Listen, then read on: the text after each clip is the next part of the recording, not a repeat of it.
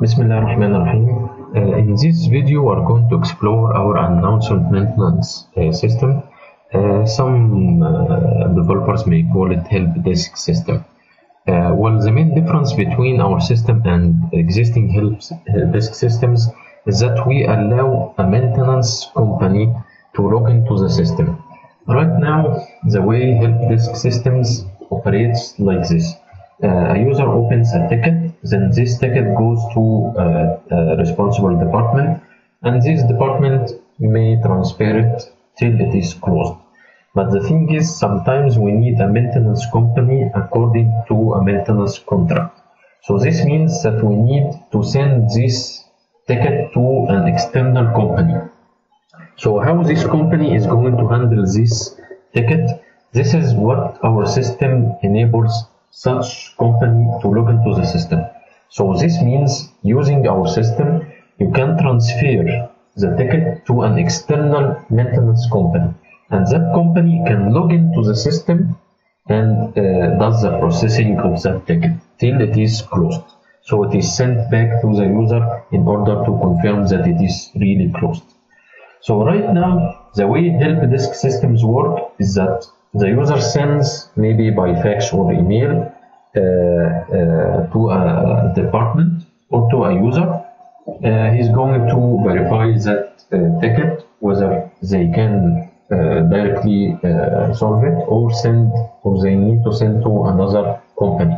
So in order to send to another company, they send an email, which is very difficult in order to follow up. And the thing is, there is no way to update the system. Some companies offer their own help desk systems so that the user should open that uh, ticket using that help desk system. But of course, if you have more than one uh, company, it becomes very difficult in order to follow up uh, the ticket. So this is the main thing that our system does is that it enables the company, the maintenance company, to use the system. Okay, we're going to log into the system using uh, username and password. The system displays some statistics, the total open announcements, open announcement with no company, open announcement with company, total open internal announcement, and the total number of announcements. Now we're going to uh, navigate through the uh, screens of the system. Uh, in this screen, you man manage your users. So this is the normal data of users, first name, last name, whether he's active or not, his mobile, his email, uh, where he exists with the region, unit, and department, and his type, whether system admin or unit admin or unit employee, along with his username and password. This is how he logins to the system.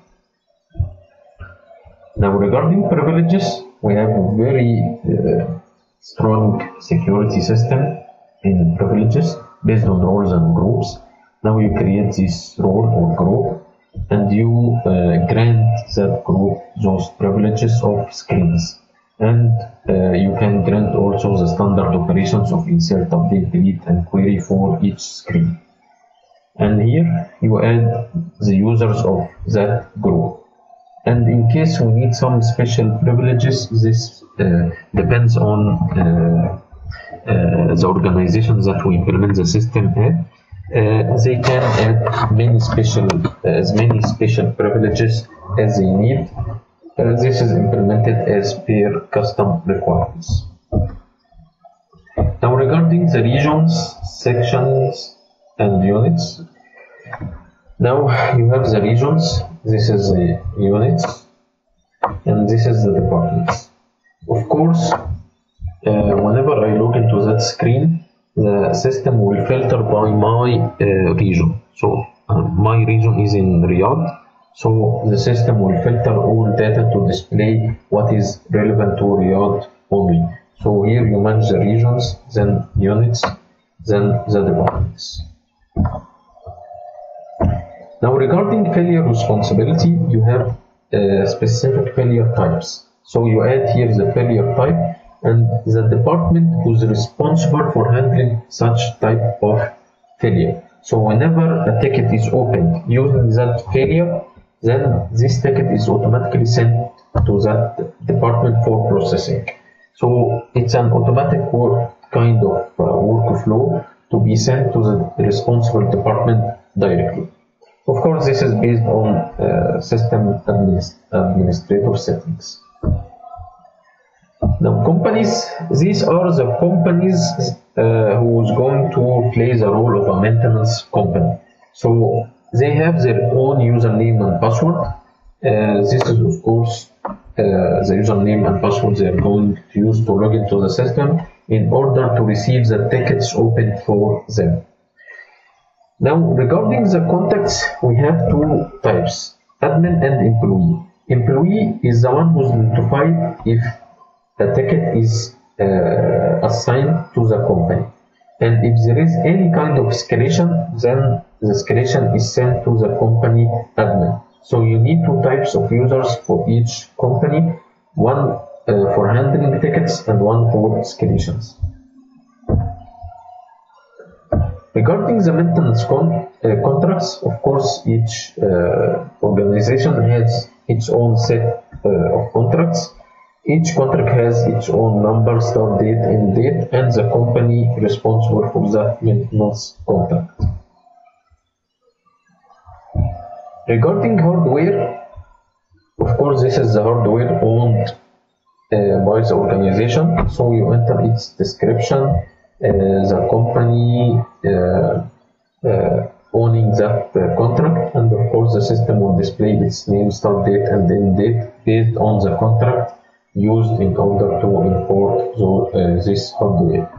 And in each contract, you mention the serials of uh, the hardware details. Of course, once we have the serial, we can print a barcode uh, or any report regarding this hardware. Regarding the faults, these are the types of faults. Of course, you can add as much faults as you want. Regarding the message settings, these are uh, the messages on email and SMS notifications sent by the system.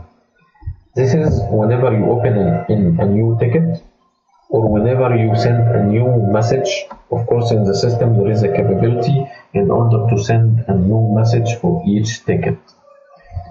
And uh, there is a notification if the status has been changed by the sending department and there is a notification if the status of the ticket is changed by the maintenance company and another notification if the status is changed from the department assigned uh, the ticket.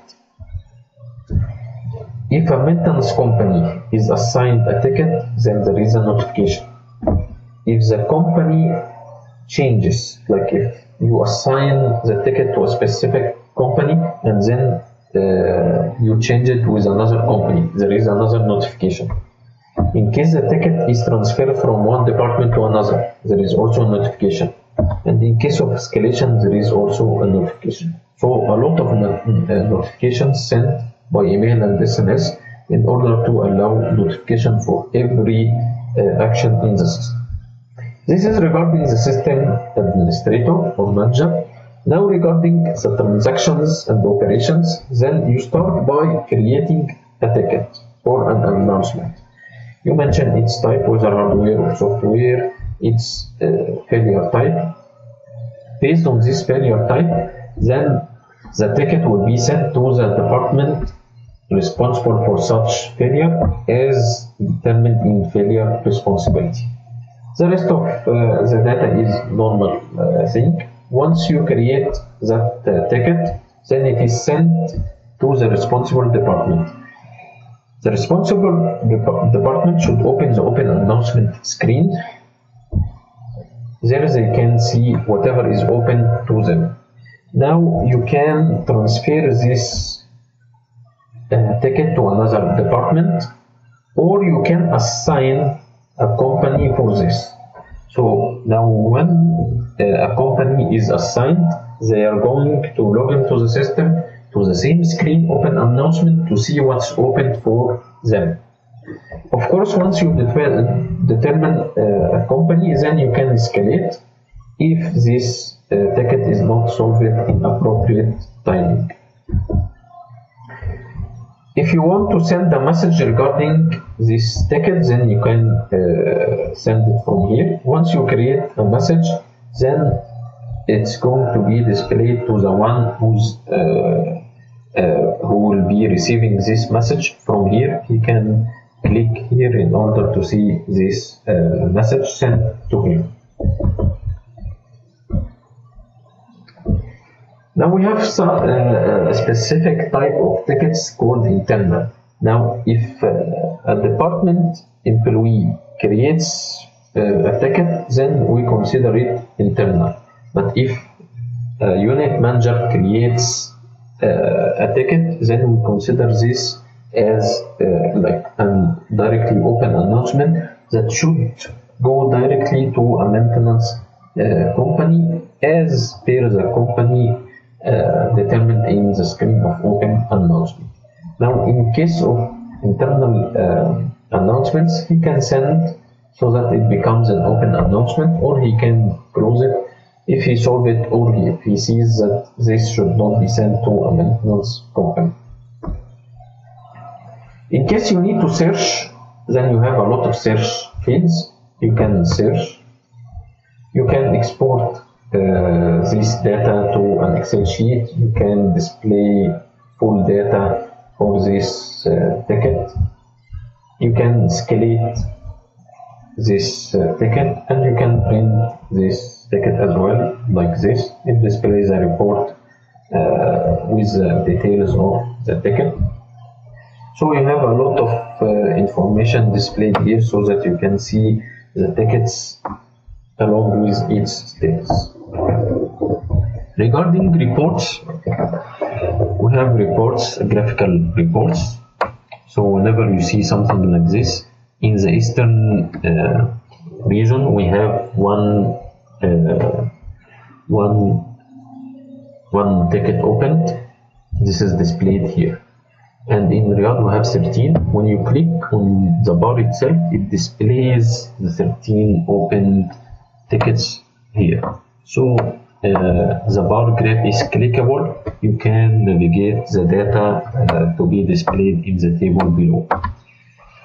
Also you can uh, mention the chart type whether it is bar or oil, and even you can click the region in order to make it disappear and uh, recalculate the uh, percentages.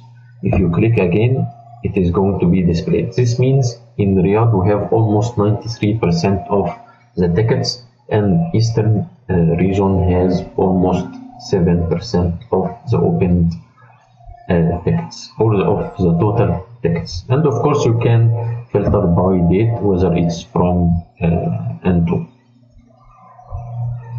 So uh, we have explored in uh, this video the capabilities of our uh, help desk system. And as we said the main advantage we are offering is that this is web-based system. You can use it use it through the internet and allow the maintenance company in order to log into the system in order to process the ticket. So what we offer here is any types of customizations required as we own the source code. So any type of customization can be offered and second thing being web based so we can allow the, uh, the company in order uh, to log on to the system and process the ticket. So this is very important in order to complete the cycle of the ticket.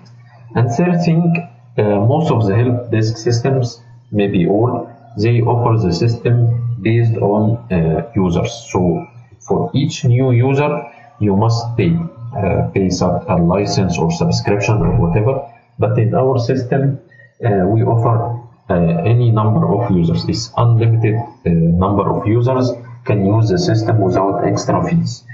So uh, with these advantages, we offer a very competitive system to the market that can be used effectively in order to process the, the full cycle of the ticket till you can guarantee it is closed. In this video, we have explored our uh, help desk system along with its uh, advantages. Thank you.